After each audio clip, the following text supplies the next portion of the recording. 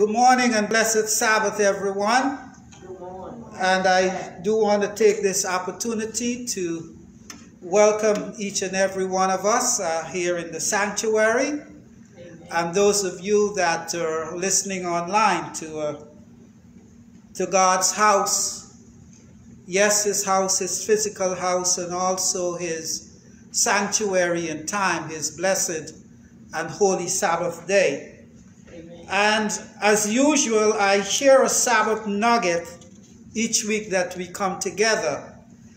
And someone may ask, well, why do you do that? Well, I do it for a couple of reasons.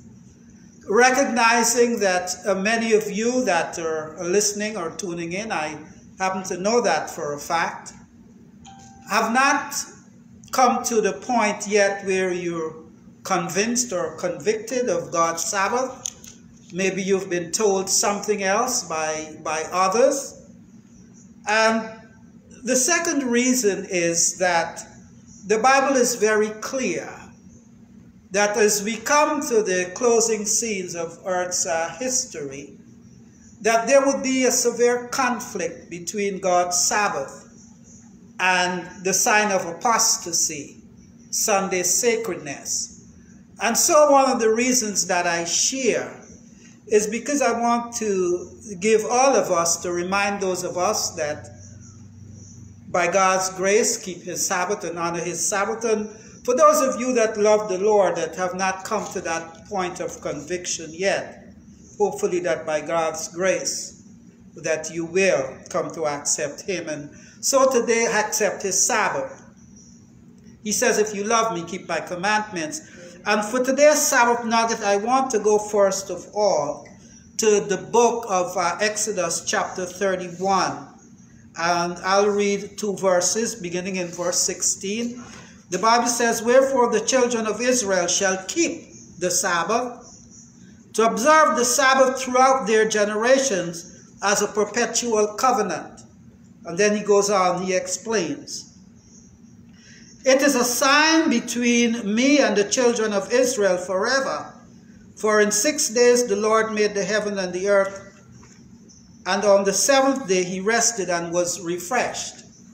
So the reason that God wanted them and us to keep the Sabbath, it is because it's a sign of his creatorship, his rulership in their lives, and because they belong to him. And some smart person out there might say, well, oh, that is for the Israelites. Well, my question to you this morning is creation just for the Israelites or is it for all humanity? Besides, if you were a Christian, the Bible tells us that verily you are Israel. In the book of Galatians, chapter 3, and beginning in verse 28, Galatians chapter 3, verse 28, there is neither Jew nor Greek, there is neither uh, bond nor free, there is neither male nor female, for ye are all one in Christ Jesus. And if ye be of Christ, then are ye Abraham's seed. and heirs according to the promise. Who is Abraham's seed? Israel. So, yes, it was written for us today. He's a God, the same God yesterday, today, and forever. He wanted his people back then to observe and to keep his Sabbath. And yes, today, because we are Abraham's seed. And heirs according to the promise, he wants us to do likewise. Let us pray. Father, we thank you once again for the great privilege and opportunity you have given to us to come together into your house of worship. Thank you for the blessing of your Sabbath day, your Sabbath day of rest, which, uh, in which you have called us to come apart from the things of this world and to just find sweet rest in you. And yes, dear Lord, the man of sin has established a counterfeit, but the rest is still in you and in your Sabbath. And so we come. Now be with us this morning. Be with your man servant in a very special way. Speak to our hearts. may you give me listening ears, give us listening ears and receptive hearts. And whatsoever is said and done today may it be done to thy name's honor and glory. In Jesus' name I pray, and for his sake, amen, Amen. and amen. Amen. I want to ask us a question this morning in the form of a, a little scenario. Imagine that you were charged with the, a crime of, of murder and you were brought before the judge. The case has been presented to the jury and the jury comes back with a unanimous guilty verdict. The penalty, the penalty for the crime that you have committed is execution. You certainly are most deserving for the penalty because you have been found guilty. All the evidence point to the fact that yes, indeed, you have committed the crime. The jury finds you guilty. The judge now has to pass sentence. And he comes in and he passes the sentence and he says, since you've been found guilty, the law says that you should be executed or be killed by lethal injection. But no sooner than he presents and he declares the verdict, he gets up from his seat. He takes off his robe and just as the officers are about to, to take you out of the courtroom, the judge steps down and he stretches out his hand and he says, Let him go free. I'm going to pay the penalty. I'm going to pay the penalty for the crime that this man has committed and let him go free. What a wonderful experience that would be for you Amen. Or for me because you've been set free. It would be a great exchange. The judge has decided to take your place. My dear brothers and sisters, I want to let you know that we're all in that situation this morning because we have all committed sin and the wages of sin is death. Oh, but the judge stepped down from the universe. He stepped down from the universe and he says, Oh, let them go free. And I'm going to take the penalty. And he just didn't only say it. We would find out this morning that he actually did. My Christian friends, this morning I know that if that courtroom scene was evidence, it's practical in your life, then you will go on rejoicing and to tell everybody about the goodness of this judge. My question this morning, why don't we hear much more about the judge who stepped down from the rulership, the governorship of the universe, and come and take the penalty for you and I? Why don't we hear more about that? My dear brothers and sisters, I would like to talk to us today about the great exchange, an exchange so glorious, an exchange so mighty that not even the angels, I guess if you want to make an analogy, not even the, the, the, the juries, the jurors, quite understand. Oh, how could you say that? Oh, yes, the Apostle Peter tells us in the book of, of First Peter. He says, of which salvation the, the prophets have inquired and, and searched diligently. First Peter chapter 1, beginning in verse 10. Who prophesied of the grace that should come unto you, the grace, the judge stepping down and taking your place. Searching what or what manner of time the Spirit of Christ which was in them did signify when it testified beforehand the sufferings of Christ and the glory that should follow in. Other words Peter is saying that even the prophets that they were writing, they quite didn't get it. Verse 12, 1 Peter, the first chapter. Unto whom it was revealed, not unto themselves, as I said, they weren't quite clear, but unto us that they did minister the things which are now reported unto you by them that have preached the gospel unto you, and the Holy Ghost set down from heaven. So Peter is saying, as he's writing now after the death, burial, and resurrection of Christ, he has come to understand now as he studied the scriptures that, wow, this is what they were prophesying about. But even them were not quite clear about it. They did not quite understood uh, what it was all about. And then he says, which things the angels desire to look into the great exchange. Like that case room, that uh, uh, uh, courtroom that I just mentioned. The angels in heaven, as they look upon what the judge has done, they, they don't understand why he has done it. Just like the jurors in that courtroom. They don't understand. the. My question to us this morning is that uh, do we understand the great exchange which God has given to us?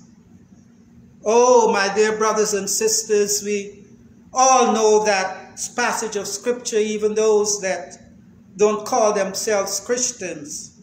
You know, God is amazing.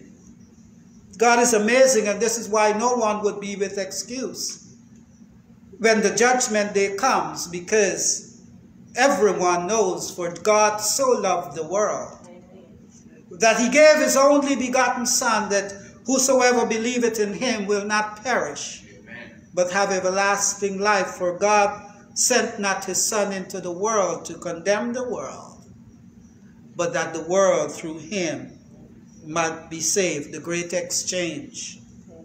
The great exchange my dear brothers and sisters, the Apostle Paul would tell us. He says the wages of sin is death. Remember that courtroom, condemned to death. But I want to praise God this morning that Paul did not stop there. The book of Romans, chapter 6, and verse 23. He went on to tell us about at the great exchange, he says, But the gift of God, the gift of God is eternal life through Jesus Christ, our Lord. Oh, yes. This morning we're talking about the great exchange. There is nothing, my dear brothers and sisters, that you and I have done, could have done, or will do to warrant that great exchange, that gift of eternal life when we were declared to be sinners and condemned to death. If we could have done everything, anything for it, then it would not have been the, the, the, the free gift. He did it willingly. Paul tells us in the book of Ephesians, but For by grace are we saved through faith, and that not of ourselves. We don't deserve it. We deserve death because we are sinners and the wages of sin is death. Paul says it's a gift of God, not of our works, lest any man should boast. There is nothing that you and I could bring to God except the blood of his son Jesus Christ. But I want you to know this morning that, oh yes, so many of us rejoice as we should in the in the free gift that he has given to us by paying the price for our transgressions. But I want to ask this morning, have you thought, have you stopped to think about the price that was attached to that gift? Free to us Oh, but it is anything but free to the Father and his Son because he was separated from his Father, something he had never experienced because of you and I. As he was about to go to Calvary's cross, the Bible records that he gathered with his disciples to pray and he the Bible says that he prayed and drops of blood began to protrude from his face because he now realizes what is going to happen separation from his father. And the Bible records that he prayed three times, Father, if thou wilt, let this cup pass from me. In other words, yes, I know that we love him. I know that we agreed that I would come and pay the price, but in his humanity, he's now facing Calvary. Now coming to understand the separation that it would bring. And he says, If thou wilt, Lord, he says, let this cup, dear Father, pass from me. But then he looked down through the corridors of time and he saw you. And he saw me and he saw you, my sister, and you, my brother. And he said, Nevertheless, not my will, but thy will be done. And he went and he paid the price, the great exchange, on Calvary's cross. And in agony, he cried out, My God, oh my God, why hast thou forsaken me? Have you considered the price of that so-called free gift? My dear brothers and sisters, the Apostle Paul continues to tell us in the book of Ephesians, chapter 2 and verse 13. But now in Christ Jesus, you who were sometimes were far off are made nigh by the blood of Jesus Christ, the blood that he shed on Calvary's cross. I want you to know that he didn't deserve to be there. It was you and I that should have been on the cross of Calvary. But he shed his blood so that we would be redeemed, that we would be made one again with him and with his Father.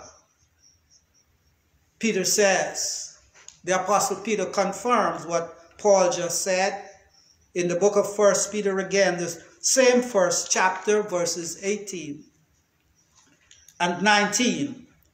For as much as ye know that ye were not redeemed with corruptible things as, as silver and gold, from your vain conversation received by tradition from your fathers, but, but with the precious blood of Jesus Christ as a lamb without blemish and without sin and without spot Oh, yes, my dear brothers and sisters, God wants a, a sinless people. But because of our first parents uh, disobeying God and sin and all that has come into the human experience has taken over, it has never changed God's mind. It has never changed his mind from living and dwelling with a sinless people, but God realizes that this is not an ordinary task.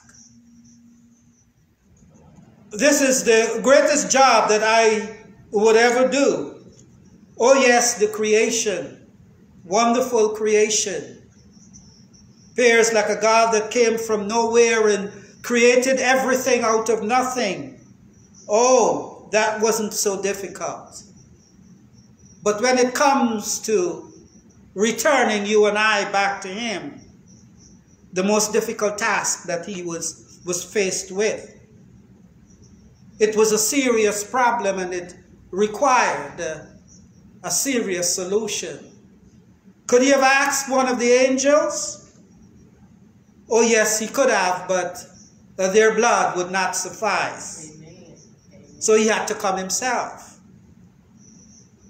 You see, my dear brothers and sisters, whether you accept Jesus Christ or not. Whatever you call yourself, I want you to know this morning that sooner or later you're going to face death. Because the Bible says that all have sinned and come short of the glory of God. And I want you to know this morning that the only, the only remedy for sin is Jesus Christ. Amen. He died not only for those that came upon planet Earth 2,000 years ago, and we know him as Christ that died on the cross, but he died for Adam and every other human being that has ever traversed planet Earth. Uh, because he is the only one that conquered death. He's the only one that paid the price that could redeem all of us from this sin, this woe of sin.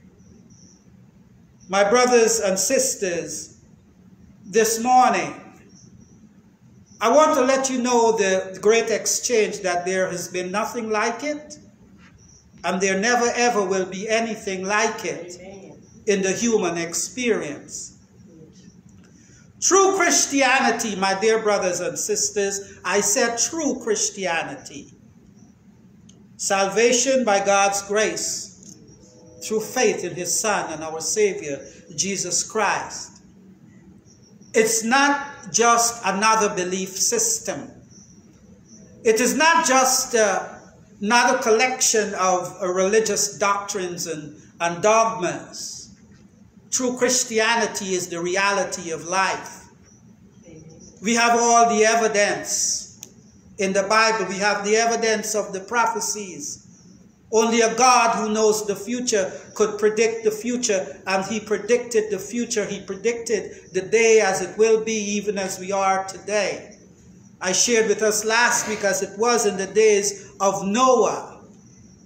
The God says that this is how it will be in the end of, uh, of the world. Amen. God prophesied thousands of years ago of the forces that would come together to fight against him and to fight against his plan of salvation. And it has all come to pass and is coming to pass just as he had prophesied. And so I want you to know uh, this morning that the gospel of salvation in Jesus Christ is not just another religious a set of doctrines, it's the reality of life. Isaiah, Isaiah who we sometimes call the gospel prophet, he wrote about 600 years before the great exchange was manifested in the book of Isaiah, chapter 53, he wrote, Surely, surely he had borne our griefs and carried our sorrows, the great exchange. Yet we esteemed him stricken, smitten of God, and afflicted. Oh, what a price! What a price. You're valuable. My dear brother, my dear sister. I don't care where you are. Whether you're sitting in Buckingham Palace, the White House. Or you're a drug addict on the street. You are valuable in the sight of God or anything else in between. Because my Bible tells us that he came and he made the great exchange. And so Isaiah continues. He says, But he was wounded for our transgressions, he was bruised for our iniquities. Lord, have mercy. The chastisement of our peace was upon him, and by his stripes, praise God, we are healed. Rather than you and I receiving the stripes, that judge took down from his seat of judgment. He took off his robe. My dear brothers and sisters, and yes, he placed the robe on us. Help me, dear Father. I'm decided to take the penalty for you and I. This is the reality of life. It is not just a quote unquote Christian doctrine It's the doctrine of the human existence. The Bible says, All we like sheep have gone astray, but God has laid upon him the iniquity of us all. The Bible continues, Isaiah in Isaiah chapter 53, I'm in verse 7. He was oppressed and he was afflicted, yet he opened not his mouth. He was brought as a lamb to the slaughter, and as a sheep to the shearer was dumb, yet he opened not his mouth. My dear brothers and sisters, he paid a price, a tremendous price. John the Revelator lets us know that way before Isaiah, whom I have just quoted from Isaiah 53, and by the way, just by the way, I want to let you know this morning that primarily on account of the passage of scripture I just read, and of course other passages, tens and thousands, if not millions, of Jewish people are defying their traditions, defying their rabbis, and are coming to accept Jesus Christ as their Messiah, just as the Bible prophesied that many of them will come to accept him as the Messiah. Yes, he is the Savior of the world. The problem of the world is sin, and the only solution is not any man-made tradition. It's not any scheme that can be concocted by any man or any group of people, but the solution to the world's problems is Jesus Christ. John the Revelator tells us, looking back, way back, not only from the creation, through the times, the, the salvation history, coming down now to the times in which we live. And as John now looks through God's prophetic lenses to this time in which we live, he foresaw the mighty powers of earth that would come together to fight and against God's plan, God's project of the great exchange.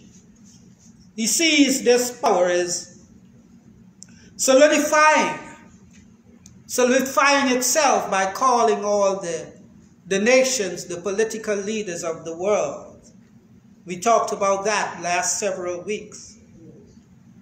We see this power that is bringing together all the business enterprises of the world.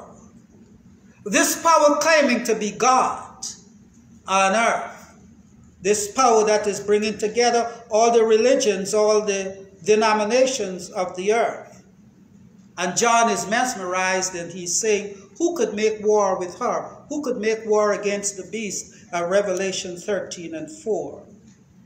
Uh, but I want to thank God this morning that God did not leave John mesmerizing, and he's not going to leave you and I either. And so in John Revelation 13 and 8, the Bible tells us about the position of those of us in these last days. What would be our lot? And he says, And all that dwell upon the earth shall worship him, talking about the dragon himself through the beast power that is bringing all the world together to fight against God. And he says, Whose names are not written in the book of life of the Lamb, slain from the foundations of the world. What is John saying? What he is saying is that our only hope in these times in which we live. Our only hope in what is about to come upon this earth as the man of sin gather his forces. The Bible calls it mystery Babylon, the mother of harlots and abomination of the earth. Again, we talked about that the last couple of weeks. The Bible is telling us that the only way for us to survive against this power and her amalgamation of all the forces on planet Earth is to have our names written in the Lamb's Book of Life, is to embrace, is to embrace the great exchange. The question is this morning, is your name written in the Lamb's Book of Life? Oh, how do I get my name written in the Lamb's Book of Life? Just accept the Lamb. I accept you, Jesus, as my only Savior from sin. I have faith in you that you have paid the penalty of my sin.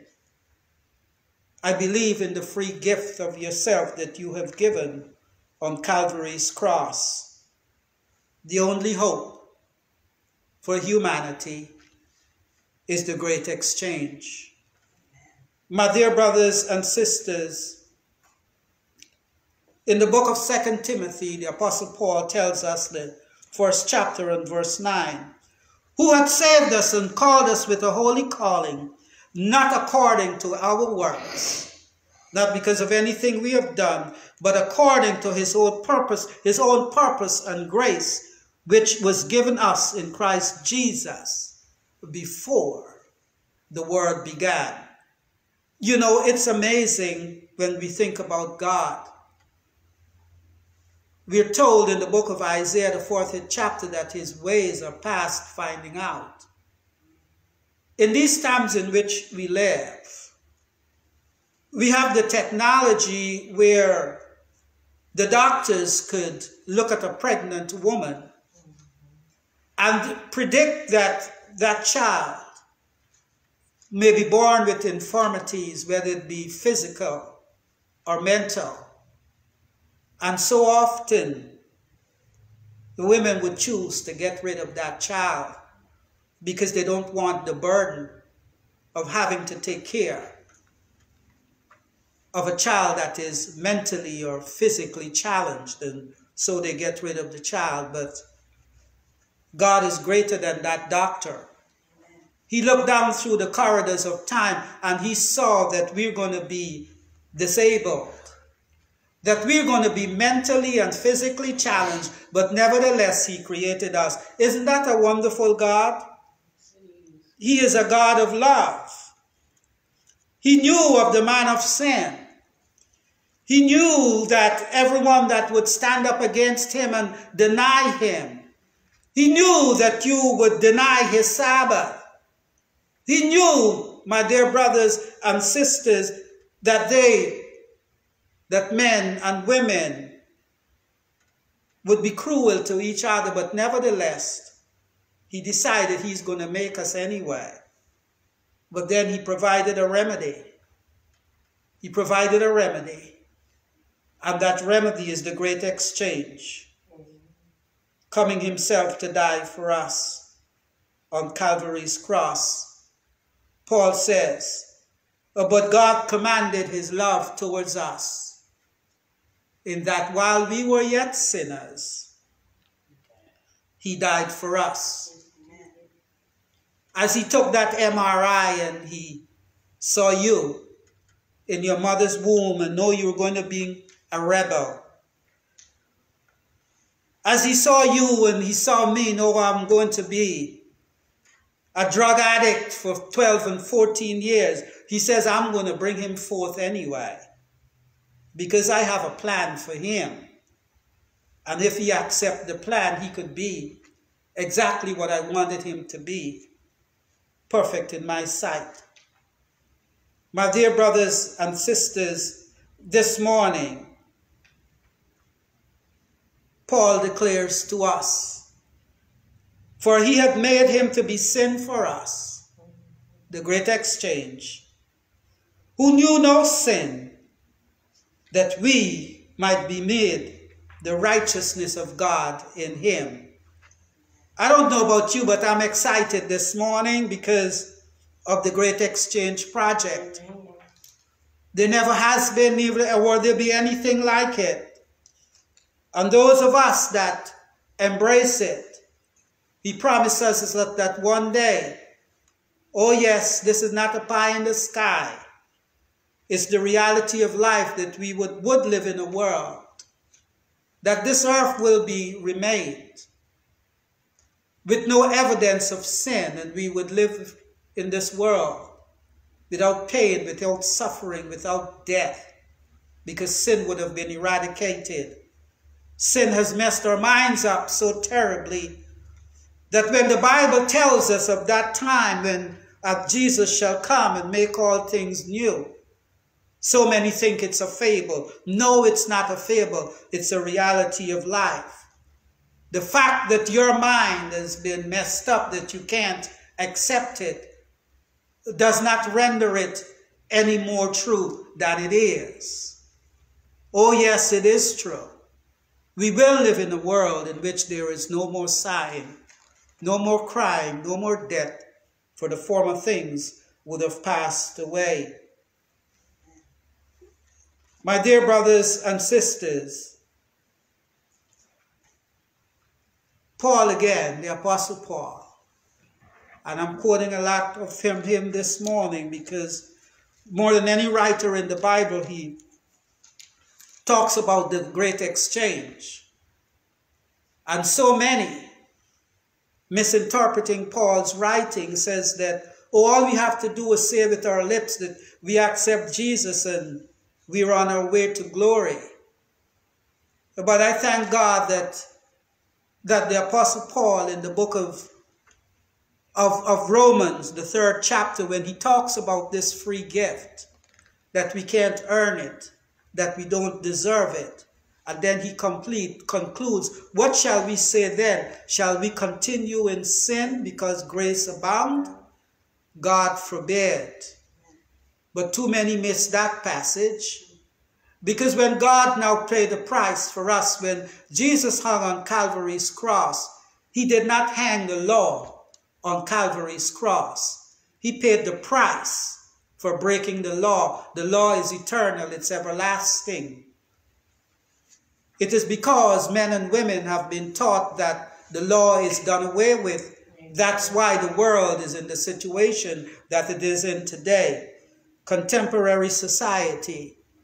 The preachers have preached, and as I said before, someone is going to get in that pulpit tomorrow and tell the people that God's law is done away with so they don't have to keep the law. And then when the crime comes, when the murder comes, when the lying and the cheating and the things that we're seeing that are happening in the world, they now want to go to the government to ask the government to help to solve the problem. The government can't, only Jesus can. Tell the people the truth. That yes, Jesus paid the price. It was a high price. But he didn't pay the price so that you could keep on singing, sinning. Oh no, that's not why he paid the price. He paid the price because you're valuable in his sight. And he wants you to come to a point whereby you obey him. You follow his commandments and you and you keep his laws. My dear brothers and sisters, we read in the book of Titus it's not by our works of righteousness, we have no righteousness, which we have done, but according to his mercy that he saved us. What love? What love? By the washing of regeneration and the re um, renewing of the Holy Spirit. Jesus is not here on planet Earth, but he promised his disciples 2,000 years ago, and the promise is still valid for us that he'll send his Holy Spirit, the Comforter, who is equal in power with him. The Bible tells us that whatever Jesus tells the Holy Spirit, it's what the Holy Spirit does. Whatever the Father tells Jesus, he says, I, that's what I do. And so, my dear brothers and sisters, as God has sent his Holy Spirit to dwell with us, we're told in the book of, of John, chapter 16, that he would lead us and to guide us into all truth. Oh, yes, my dear brothers and sisters, that's in the book of John, chapter 16, and I think it's uh, uh, verse 13. Let me get there and give it to you directly. John chapter 16 and verse 13.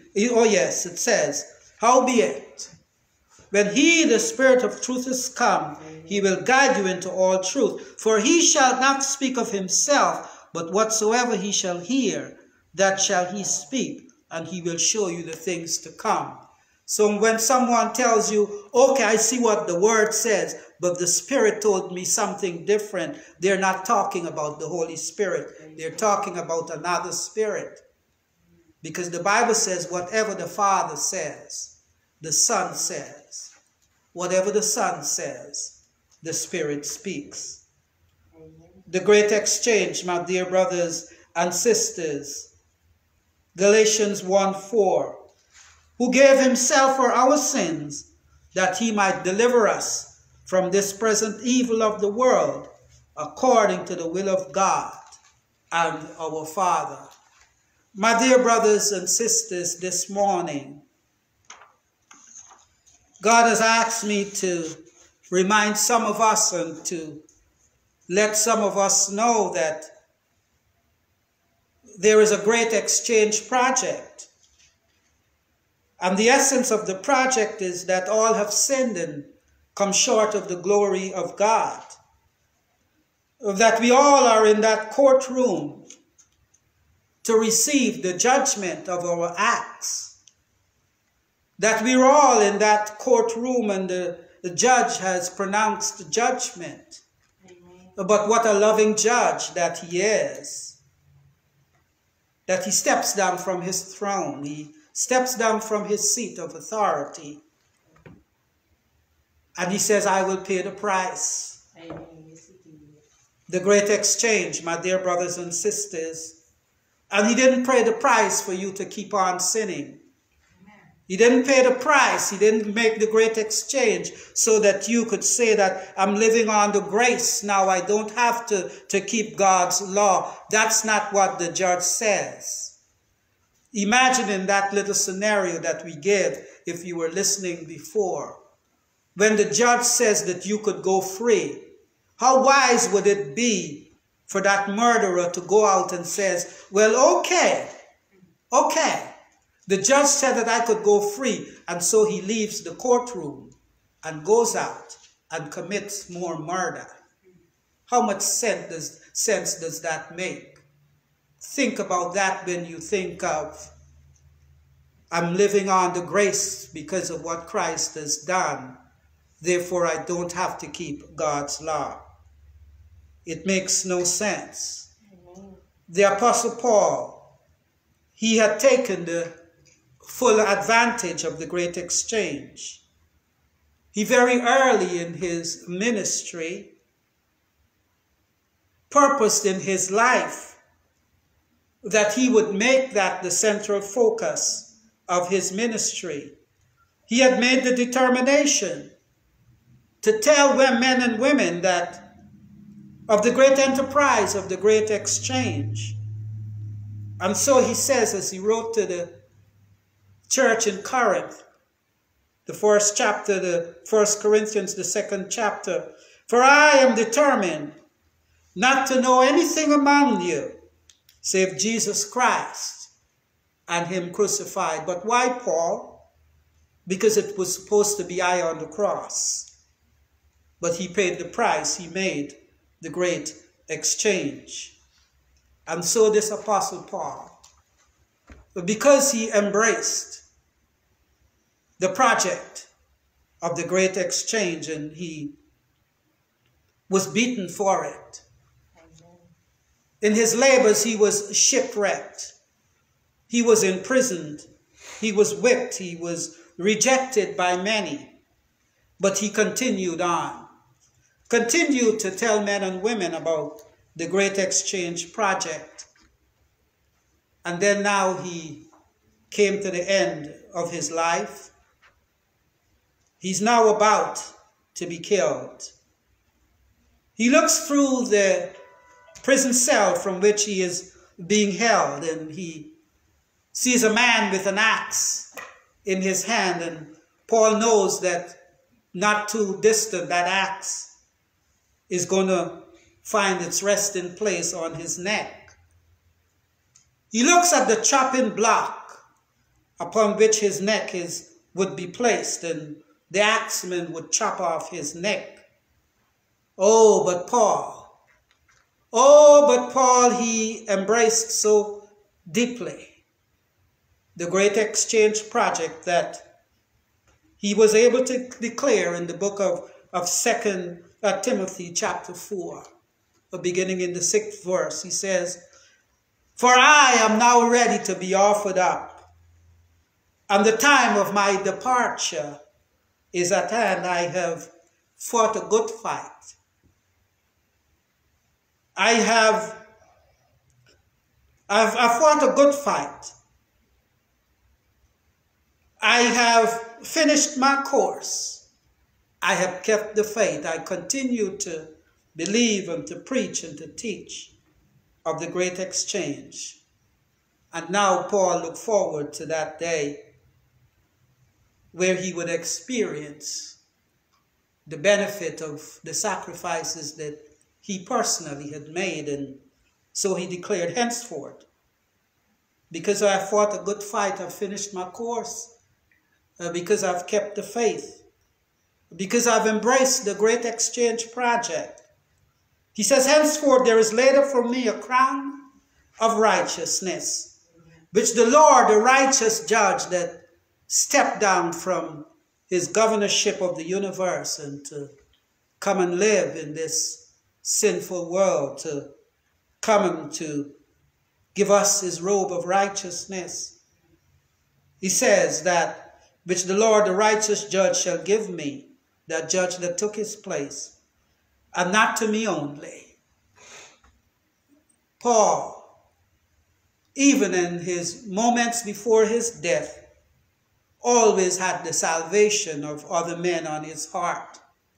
And that's what God is looking for today, for men and women to be like Paul, to be determined to preach Jesus Christ and him crucified and to let them know that there is a hope beyond this sinful world in, in which we live. So Paul says, and not for me only, but unto all them also that look for his appearing. Oh yes, he's coming again. Amen. Everything that was prophesied about him has come to pass, just as it was predicted by the prophets when he would be born where he would be born, how many years he would have his public ministry. Oh, yes, they all prophesied. Oh, yes, through David, it was prophesied that they would pull his beard, that they would gamble for his clothing. Oh, yes, my dear brothers and sisters, it all has come to pass just as the Bible predicted. God is not about to trick us when he tells us that he's going to come again. And so because of the evidence that we have in his word, that everything that has been spoken about him has been fulfilled just as it was spoken. And then, my dear brothers and sisters, my brothers and sisters, it will be fulfilled. The angels believed it. The ancients believed it. The apostles believed it. But if Jesus was the only evidence that I have, the only words that I have, I'll believe it anyway. Amen. And so he's saying to you this morning, let not your heart be troubled. Just as he says to his disciples about 2,000 years ago. You believe in God, believe also in me. In my father's house are many mansions. If it were not so, I would have told you, I go to prepare a place for you. And if I go and prepare a place for you, I will come again and receive you unto my own, that where I am, you may be there also. And so Paul says that he has fought a good fight, that he's finished this course, he has kept the faith, and He's now looking forward to the consummation of the great escape, uh, uh, the great exchange project. My dear brothers and sisters, John the Revelator encourages us when that day should come. He says, Let us be glad and rejoice and give honor to him, to him, our Savior. For the marriage of the Lamb is come, and his wife has made herself ready. Have you made yourself ready? Have you given your life to him? And to her was granted that she should be arrayed in fine linen, clean and white, consummation of the great exchange. And the fine linen is the righteousness of the saints. His robe of righteousness he has given to us. Yes, he was slain from the foundations of the world that we, would live with him throughout the ceaseless ages of eternity. He endured the ignominy and the pain and the suffering of agony of Calvary that we may enjoy life with him. He uh, became mortal. He became mortal so that we may have the blessing of immortality. My dear brothers and sisters, and yes, he traded our his righteousness for our unrighteousness. The great exchange. My dear brothers and sisters, this morning, as he was paying that price on Calvary's cross, there were two men that were on crosses next to him, one on the right and one on the left. And as Jesus was hanging there on the cross in the midst of them, one of them began to rally and to says, well, if he is the Christ, why don't he come down and save us? It's found in the book of Luke chapter 23. But one of them says, don't you know what you're talking about? He says, you and I deserve. You and I deserve what we're getting. For the wages of sin is death. But this man in the middle, he is paying the price for you and I. And he recognized Jesus to be the, the Messiah, the Savior of the world, the foundation of the Great Exchange Project. And so he reaches out to Jesus. And he says, Remember me when thou comest in paradise, when thou comest in thy glory. And Jesus says, Verily I say unto you today, thou shalt be with me in paradise. You have the assurance today that you would be with him in paradise. You are no different, you and I, than the thief on the cross. Oh, yes, we deserve to be on the cross. But I pray this morning that everyone within the hearing of my voice would realize that he did not deserve it. It is you and I that deserve to be there, but praise God, he made the great exchange. And if we embrace it, then he promises us that one day we would be with him in glory. He wants us to be with that thief. I'm looking forward to meeting him. And he wants us to be with Paul and with Peter and all the ancients of old. Isaac and Jacob and Abraham and Noah. Oh yes, the Bible tells us that they did not live to see the promise that was made to them. We have the privilege, even though we were not living 2,000 years ago, we have the sure, uncanny, undeniable record that he did come and live and, and die and was resurrected and is sitting in the heavenly sanctuary. What is your position today with regards to the Great Exchange Project? It's a great project, and he's making an offer to you today. If you have never embraced the project, he is calling on you today to do so. If you have uh, embraced the project, He's calling you to be firmer and to share it with others. And so to us. He's saying from His heavenly courts, Come now. Come now and let us reason together. Though your sins be as scarlet, they shall be white as snow. The great exchange. Though they be red as crimson, they shall be as wool. The great exchange. But we have to be willing, he says, and be obedient, and you shall have to eat the good of the land. Isaiah chapter 1, verses 18 and 19. Yes, my dear brothers and sisters, there are a lot is going on in the world today. And if you have been listening to us, we try by God's grace to share with you the reality of what is happening. The reality is not in the evening news. Oh, yes, and some of the things are real. That's not what I'm saying. They're just telling you uh, everything that is not true. I'm just saying that they're not telling you the truth because just perhaps they don't know the truth. Amen. And the truth is the great exchange. Is that Jesus has paid the price Amen. for all the woes, for all the pains, the sorrows, for every human being that has ever lived. Yes.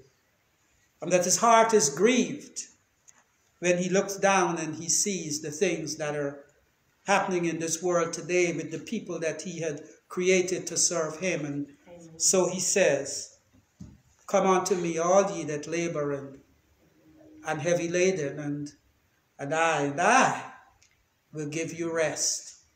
Your labor and heavy laden, he wants to exchange it for rest. Take my yoke upon you and learn of me, for I am meek and lowly in heart, and ye shall find rest in your souls. For my yoke is easy Amen. and my burden is light. He wants to make that great exchange in your life today. The question is, would you let him? If there's someone that is listening today, you've never given your life to Jesus Christ. Today, if you hear his word, harden not your heart. Accept him. Accept him in the quiet recesses of your heart. You don't have to go through any labors. You don't have to go on any pilgrimages. All you have to do is to say, Jesus, come into my heart. And he's just waiting. He's just waiting on the door. Today he's knocking. Open the door and let him in.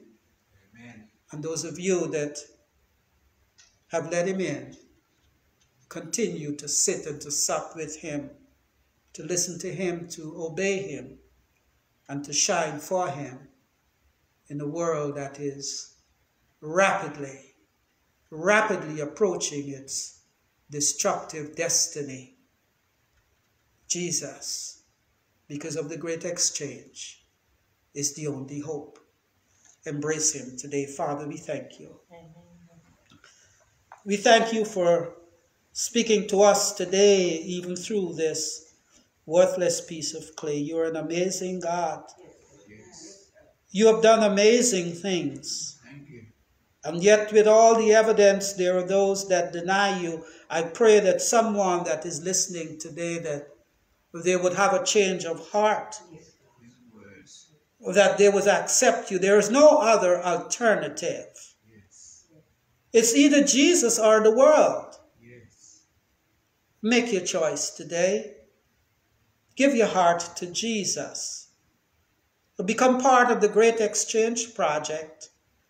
And soon and very soon, when he shall come, and all things would be made new, that you would be with him to enjoy a world of peace, without sin, without sorrow, without death, throughout the ceaseless ages of eternity. I plan on being there.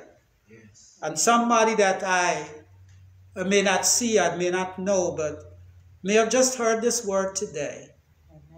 I pray that maybe on that day you might be able to walk up to me and say, Sir, I heard you preached about the great exchange and I accepted it. I don't know who that person is, Yes. but God says that His word would never ever return to him void. So I know that some heart has been touched today. May Jesus keep you.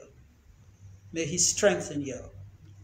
May he help you and give you the power and the knowledge to obey all of his commandments. May you embrace his Sabbath commandment because he says that it's a sign between him and those who claim him as his savior, as their savior and creator. Be with us as we peruse and enjoy the rest of your holy, blessed and Sabbath, the rest of your holy, blessed Sabbath day. In Jesus' name I pray and for his sake. Amen, and amen.